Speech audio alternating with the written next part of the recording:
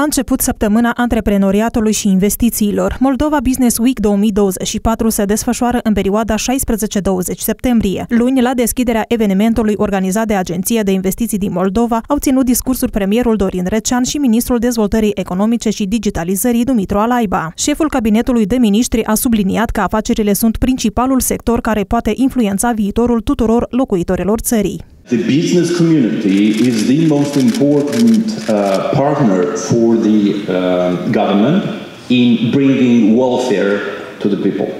And that is the ultimate uh, goal of any government. Whatever policies we are uh, implementing, whatever strategic objectives we are embarking, we need to produce uh, welfare. Premierul a subliniat că executivul își propune ca investitorii străini să perceapă Moldova ca un loc sigur pentru investiții. La rândul său, ministrul dezvoltării economice și digitalizării Dumitru Alaiba a încurajat de asemenea antreprenorii să investească în țara noastră acum, pentru a nu regreta peste câțiva ani. It's also a good place to do business and to make uh, a very successful uh, business and yeah, make a very healthy profit because This is what. Uh, this is why you have a government as your partner, a government that is really willing to and open to listen, to engage, to uh, study the problem, and to come with a solution that is uh, uh to work for